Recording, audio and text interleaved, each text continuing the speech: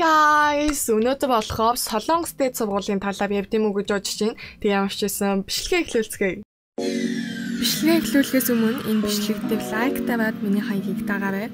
Бас заавал хонхон дээр даваарай хамгийн түрүүнд та нар Солонгос дэд сургуульд орох гэж байгаа бол нэг л ойлголт хэрэгтэй тийм нь болохоор юу вэ гэхээр Солонгост болохоор хичээж байгаа хэмжээгээр чинь боломж гарч ивдэг хичээж байгаа хэмжээгээр чинь зам боломж чамайг дэмждэг хүмүүсүүд хангалттай гарч ивдэг уул чи өөрийгөө гээд хичээгээд бусдаас илүү 2 3 дахин илүү хичээх юм бол бүгд итгэлэг өгөөд манад сургуульд үнгүй сураад өгөөч гэсэн хүмүүсүүд ч гэсэн хангалттай гарч ирэх учраас та нар хинээс ч илүү хичээх хэрэгтэй. Тэгээ солонгосчууд өвсдөө ч гэсэн солонгос болохоо боломжийн орн гэж хэлдэг. Олон монголчууд ч гэсэн тгээ солонгос руу ивдэг. Ямар ч гэсэн яг гол сэдв рүү оръё. Хамгийн түрүүнд би зүгээр 12 дугаар ангиа төгсөө зүгээр л солонгосоос диплом авахтал болоо гэсэн хүмүүсүүд байгаа бол энэ нь амар хэрэгтэй арга байж магадгүй. Энэ аргын нэрийн солонгосоо би өгдөг вэ гэхээр хагжам өнэнжэд үгээд ерөнхийдөө бол чамайг дүнгэвч юу ягаад онлайн авч юм уу өөрөө биеэрээ очиж сурдаг нэг дугуулan маягийн зүйлүүд тэгээд энүүгэвч дүнгийн чи юу яаж байгаа гэхээ өндөр дүнтэй гарах юм бол чи диплом аавна гэсэн. Тэгээд биеэрээ очиж сувж байгаа нь баг дээд сургуультай адилхан байдаг. Тэгээд энэ нь болохоор үнэн амар үнэтэй. Тэгээд онлайн нь болохоор харин биеэр очиж сувж байгаагаас илүү хямдхан. Онлайн нь болохоор зүгээр ингээд лекц сонсоод дуусчих биш чи тэр өдөр заавалчгүй хичээлд орох хэрэгтэй. Хаан чамаагүй wifi-тай газар байвал чи Монголоос ч гэсэн сонсч болно. Гэхдээ тэр нь Монголоос бүртгүүлж болдог болдгоог сайн мэдэхгүй байна. Тэгээд Солонгост ихэнх дээд сургууль нь болохоор топ 4-өөс дээш хүүхдүүдийг авдаг. Хаяадаа нэг алдартай биш энгийн дээд сургуулиуд нь топ 3-ыг шаарддаг. Ерөнхий Солонгосын хэлний бэлтгэлийн ангид орохыг хүсэж байгаа бол Yonsei Akyo-гийн хэлний бэлтгэл, Iwoyo-гийн хэлний бэлтгэл, Seoul Akyo хэлний бэлтгэл гэдэг амар олон хэлний бэлтгэлүүд байгаа.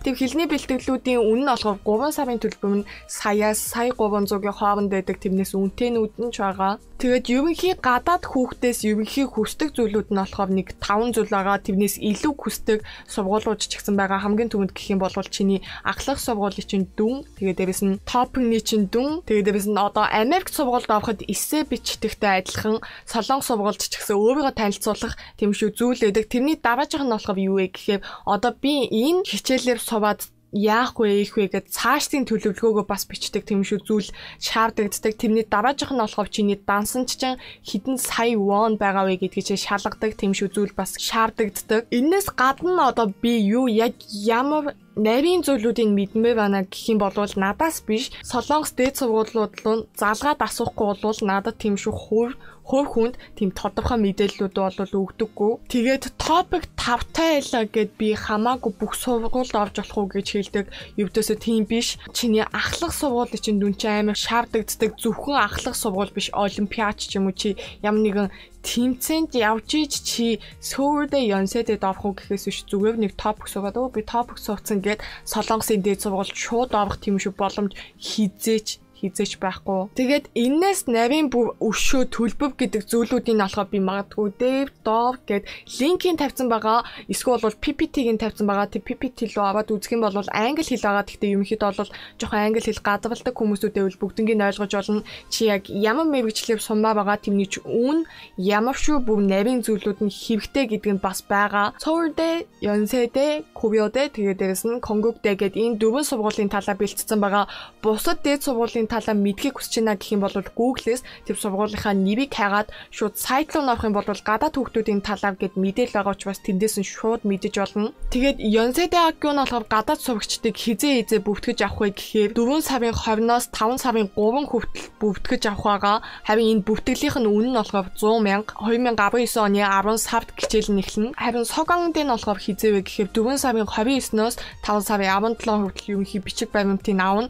Тэрний дараа яг нарийн одоо тэв хүүхдүүдээс сонгосны дараа тэв хүүхдүүдийн нарийн бичиг баримтыг нь болохоор 5 сарын 7-оос 5 сарын 24 хүртэл авах байгаа. Тэгээд энүүний бүртгэлийн үн нь болохоор 107 мянга байгаа шүү. Тэгээд дараагийнх нь болохоор юу вэ гэхээр Монгол дээд сургуулиас Солонгос дээд сургууль руу шилжихийн талаа мэдээлэл байгаа. Тэгээд надаас нэг хүн тэгэж асууж исэн амар олон хүмүүс Монголоос шууд дээд сургуулаа юу яагаад Солонгос сургууль ороод байгаа юм шиг бахын тэр нь үнэн үү гэд тэр нь бол үнэн гэхдээ Монголдо зөвшөөрөгдсөн үнэлэгдсэн том том сургуулиудаас овж ивэх боломжтой. Тэгээд төв сургуулиуд нь хязгааргүй их биш хязгаартайгаа 건국대, 고려대, тэгээд 무슨 상명대, 서울대, 성균관대, 이화여대, 한양대, 홍익대 гээд энэ 8 сургууль авж болдог. Харин тэр яг Монгол дээд сургуулийнхаа тийм мэрэгчлээвээ 4 жилээ төгснөхийн дараа л ивж болох сургуулаагаа тэр сургууль нь болохоор Суурдэ. Тэгээд хамгийн гол юм нь болохоор юу вэ гэхээр ингээд гадаад хүүхдүүдийг сонгоод шууд ингээ ивүүлж олдог хүүхдүүдийн тоон аймаг баг конгугтэй гэхдээ энэ жилээ болохоор хоёр хүүхдийг л сонгоно. Ковиод энэ болохоор нэг хүүхд аль хичээсэн нэг нь л хийж чадах магадгүй ивж чадах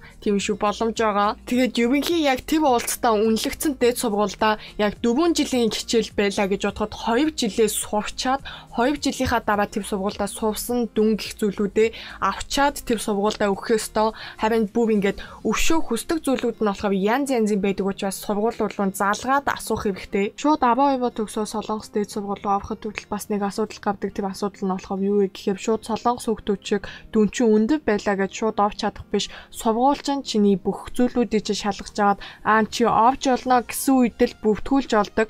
Тийм шүү зүйлүүд байгаа учраас сайн анхаарад бэлдэж аваад авахыг хүсье. Энэ бичлэгийн доор байгаа линк рүү заавал заавал овж үзээвэ хэвээд Солонгос дээд сургуульд үнэхээр их авахыг хүсдэг бол тэнд бүх мэдээлэл нэгаа би та нарт бүр чин сэтгэлээсээ илж тэнд бүр бүх хүн хэрэгтэй бүх зүйлүүд нь байгаа. Тэдийг байгаа гэхэд овчуулаач чамаагүй үзвэл хангалттай мэдээллүүд чинь байх учраас тэндээс бүгднгийн мэдэж олно. Бусад сургуульч гэсэн төвөнчлөг хэлсэн шиг зүгээр хайгаад гадаад хүүхд солон сургууль руу шилжих гээд хэсэг байгаа тэр хэсэглүүнд дараад авах юм бол татаж олдог линк нь байгаа эсвэл бол шууд уншиж олдог. Ихэнх дээд сургуулиудын сайт нь солонгос л хятад тэл тэгээд дэвс нь англи хэллээр үзэж олдог учраас англи хэлтэй минь тавиад үзэх шууд боломжтой. Тэгээд дараачих нь болохоор аймаг олон хүүхдүүд хүмүүсийн мэдхийг хүсдэг топикийн талаар зүйл байгаа. Тэгээд топик нь болохоор ерөнхийдөө бол тэв шалгалтаа өгснөөс хойш 2 жилийн дараа ерөнхийдөө бол хүчингү болчдаг. Тэгээд энэ топик нь ямар шүү ямар шүү зүйлүүдэд хамрагдахад илүү амархан болдгоо гэхээр хамгийн нэгт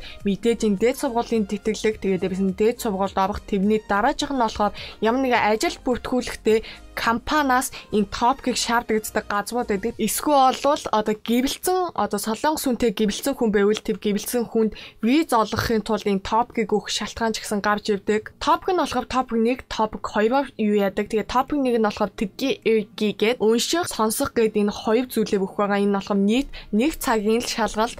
Харин топик 2 нь болохоор 1 2 цагтай 1 цагт нь болохоор сонсоод бичих харин 2 дугаар цаг дээр болохоор унших гэсэн ийм сэдвтэй байгаа. Тэгээ топ топик нэгт бүртгүүлэх үнэ нь болохоор солонгос мөнгөөр 35 мянга. Харин топик 2 нь болохоор 40 мянга байгаа. Хэдэн онооноос дээш авах юм бол би яг топик хиттэй болох гэдгийг амар олон хүмүүс надаас асуудаг. Энүүнд нь би жоохон тайлбарлаад өгье. Топик нэгтэй болохыг хүсвэл 80 онооноос дээш авах хэрэгтэй. Харин топик 2 болох юм бол 140 онооноос дээш Харин топик 2-ыг өгөөд 120 онооноос дээш байх юм бол топик 3-ыг авна. Харин 150 онооноос дээш байх юм бол 40 оноо авна. Харин 190 онооос дээш байх юм бол топик 5, харин 230-аас дээш байх юм бол топик 6 авах байгаа. Тэгээ юмшээсэн энэ бичлэг та нарт таалагдсан байх гэж бодож чинь тэгээ өвшөө мэдээлэл өгөөч гэж хүсэж байгаа хүмүүсүүдээ үл би доор төвөөхөө хэлсэн Солонгос дээд сургуулиудын дөрвөн сайтыг би бэлтцсэн байгаа. Тийшээ ороод үз зүгээр л та нарын хүссэн бүх зүйлүүд чинь тэнд байгаа учраас ямар ч гэсэн энэ бичлэг та нарт